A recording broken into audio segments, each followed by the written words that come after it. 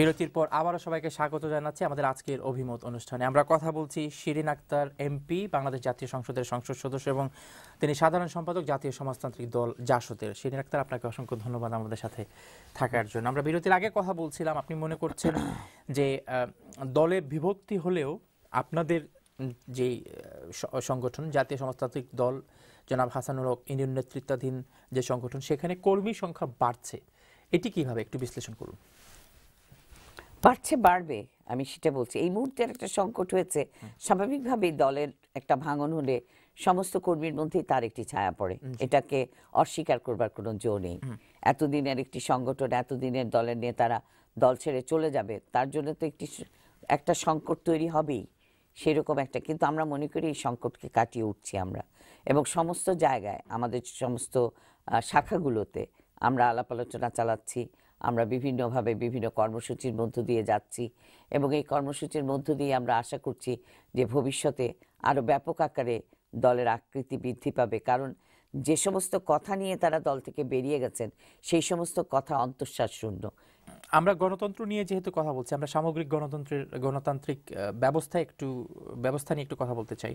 আপনি ছাগলনাইয়া, ফুলগাজী এবং পরশুরাম ফেনীর একটি আসন সেই আসনের মাননীয় সংসদ সদস্য আপনি।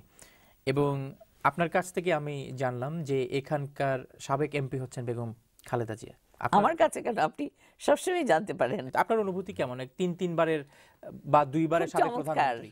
খুব চমৎকার কারণ উনিশশো একানব্বই সালেও আমি আহ, নির্বাচনে অংশগ্রহণ করেছিলাম। তখন খালেদা জিয়া নির্বাচনে অংশগ্রহণ করেছিলেন। এবং আজকে এখন আমি সেই জায়গাতেই করছি যেহেতু আমার জন্মস্থান সেখানে। এবং ছাগলনাইয়াতে আমার জন্মস্থান। সুতরাং নির্বাচন করবার জন্য সাধারণত এই জায়গাটিকে বেছে নেওয়ার স্বাভাবিক choice। স্বাভাবিকভাবেই এসে যায়। আর বিশেষ করে আমি এই মুহূর্তে আমার বাবাকে স্মরণ করব। জাতীয় রাজনীতিতে আমি অনেক দিন ধরে রয়েছি। কিন্তু যখন নির্বাচনের কথা এসছে বাবা বলেছেন নিজের জায়গাতে নিজের জন্মভূমিতে যাও। এবং সেখান থেকে কিন্তু সেই সিদ্ধান্তটি গৃহীত হয়েছে। ফলে ঘটনাক্রমে খালেদা জিয়ারও প্রত্যেক নিবাস সেখানে জি। রয়েছে। তো স্বাভাবিকভাবেই ঘটনাটি এরকম। একজন সাবেক প্রধানমন্ত্রীর আসনের এমপি এবং আপনি এবং তিনি যখন প্রধানমন্ত্রী ছিলেন তখনও আপনি নিশ্চয়ই এলাকাতে আপনার যাওয়া আসা ছিল। মানুষের এক্সপেকটেশন নিশ্চয়ই স্বাভাবিকভাবে একটু বেশি থাকার কথা। কারণ তারা সবসময় প্রধানমন্ত্রীকে পেয়েছে অথবা বিরোধী দলীয় নেত্রীকে পেয়েছে। কিন্তু মজার কথাটা জানি না ভবিষ্যৎ কি মানে কি কীরকম হবে। তবে এটা বলতে পারি যে আমার আসলে আমি যখন কাজ শুরু করেছি তাদের প্রত্যেকের বয়- ব- বক্তব্য হচ্ছে চল্লিশ বছরে কখনো আমরা এমপি দেখিনি। আমরা এমপি দেখিনি আমরা এখন আমরা এমপি দেখিনি। প্রধানমন্ত্রীও দেখিনি। এবং আমি যেভাবে ঘরে ঘরে যাচ্ছি মিশে যাচ্ছি একজন প্রধানমন্ত্রীর সীমাবদ্ধতা রয়েছে তার পক্ষে সেরকম যাওয়া সম্ভব না। ফলে সেটা একটা পাল্টা অনুভূতি আমি পাচ্ছি আমার এলাকা থেকে যে আমরা এমপিকে পাচ্ছি। এমপিকে দেখতে পাই এমপিকে ছুতে পারি এমপির কথা শুনতে পারি এবং তিনি আমাদের জন্য কাজ করছেন। অনেক উন্নয়নের কাজ চলছে।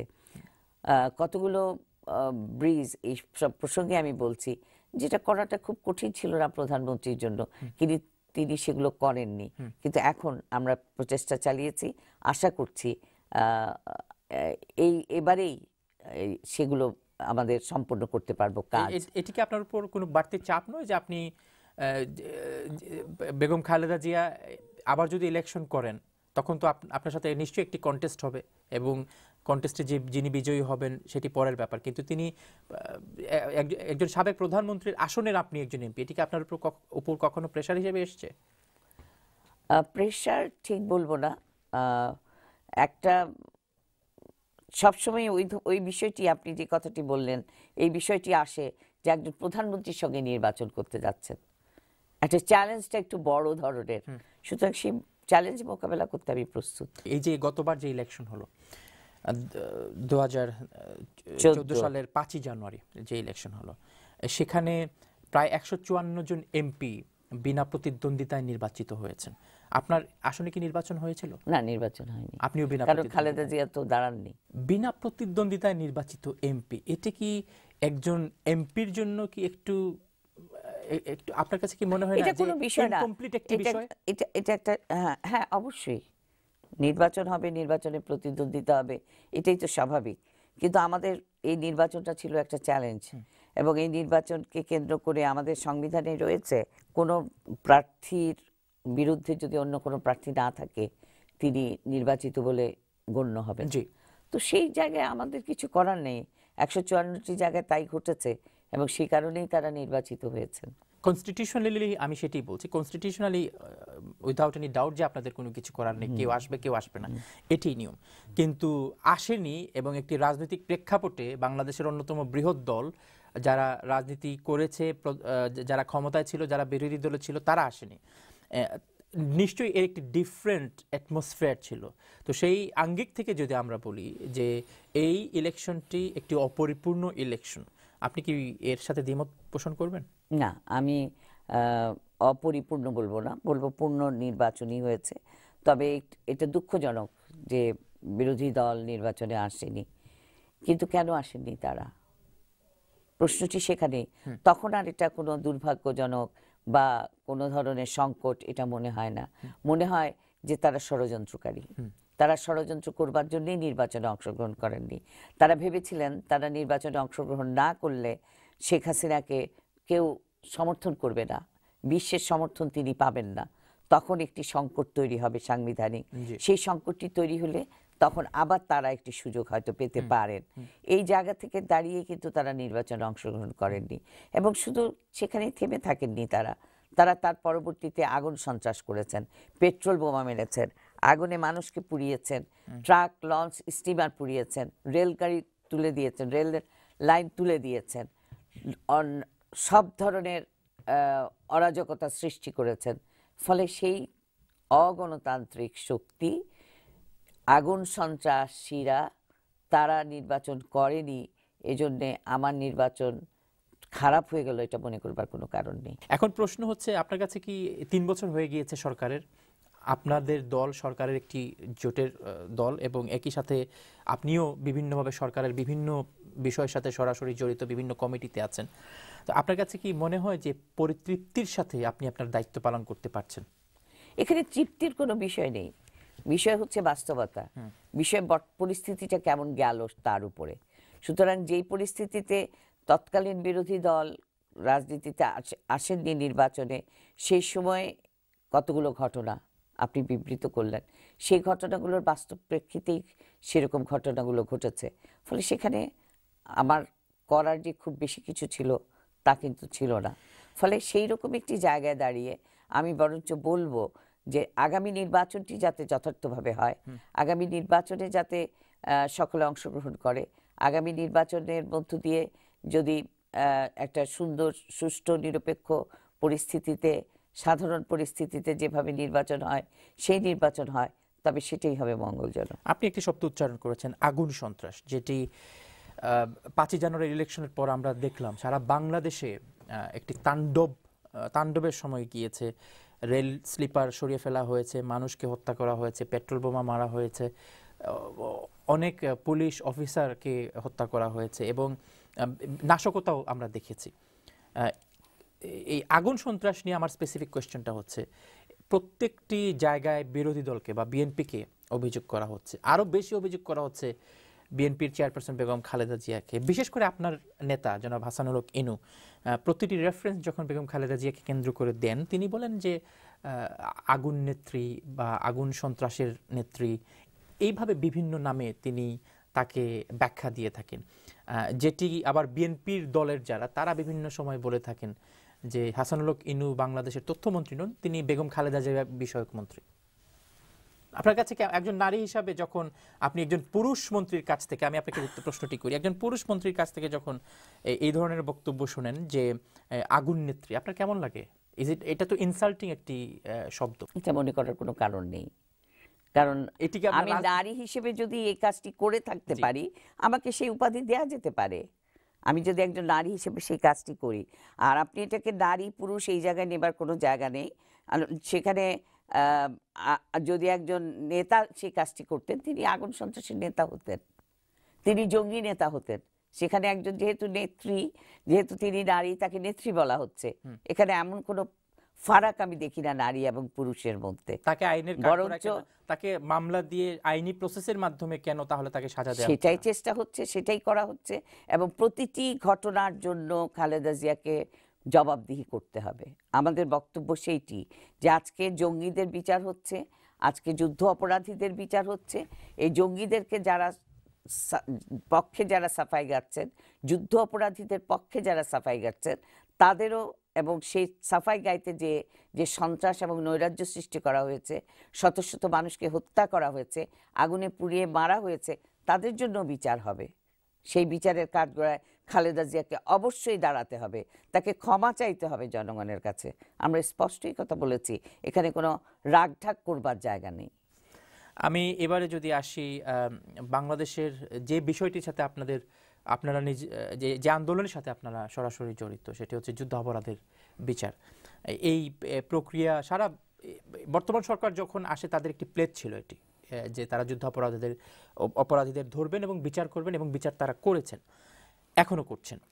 তো এই আন্দোলনটি যখন চলছে, তখন আমরা দেখলাম যে গণজাগরণ মঞ্চের সৃষ্টি হলো, যেখানে বামপন্থী রাজনৈতিক সংগঠনগুলির ছাত্রনেতারা বেশিরভাগ অংশে জড়িত ছিলেন এবং তারা আন্দোলন করলেন এবং আন্দোলন একটি ব্যাপকতা পেল এবং জনসমর্থনে পেল। এক পর্যায়ে দেখা গেল গণজাগরণ মঞ্চ বিভিন্ন ভাগে ভাগ হয়ে গিয়েছে এবং এর কারণে যে মুক্তিযুদ্ধ ভিত্তিক বা যুদ্ধ অপরাধীদের বিচারের আন্দোলনের যে বিষয়টি কয়েকজন হয়তো কুখ্যাত কয়েকজন আহ, যুদ্ধ অপরাধী ছাড়া বাকিদের ক্ষেত্রে যে আন্দোলন সৃষ্টির যে বিষয়টি, সেটি কিন্তু থেমে গেল। তো গণজাগরণ মঞ্চের সৃষ্টি এবং পরে ভেঙে যাওয়া, আপনার আপনার ব্যাখ্যা কি থাকবে? আপনি কীভাবে বিশ্লেষণ এটি? একটি অভূতপূর্ব সারা জাগানো আন্দোলন হয়েছে। এবং মুক্তিযুদ্ধের চেতনায় মানুষের ভেতরে যে ধিকি ধিকি করে জ্বলছিল যখন মুক্তিযুদ্ধের ইতিহাসকে বিকৃত করা হয়েছে, মুক্তিযুদ্ধকে বিকৃত করা হয়েছে, মুক্তিযুদ্ধ সম্পর্কে অসার অকল্পনীয় কথাবার্তা বলা হয়েছে এবং সেই সমস্ত কাজ যারা করেছে যারা যুদ্ধ অপরাধ করেছে তাদের গাড়িতে যখন জাতীয় পতাকা দেয়া হয়েছে মানুষের ভিতরে একটা ক্ষোভ তৈরি হয়েছিল সাংঘাতিক রকমভাবে।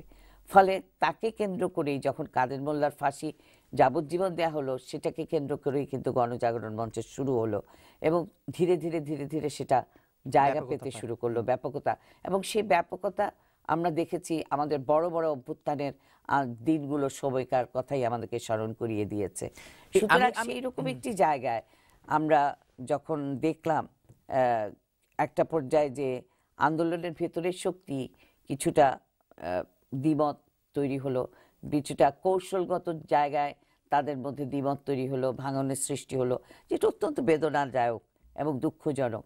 কিন্তু সেটা অবশ্যম্ভাবীভাবে রাজনীতি যেভাবে পরিচালিত হচ্ছে, সে তারই হাতের একটা পুতুল হয়ে গেল।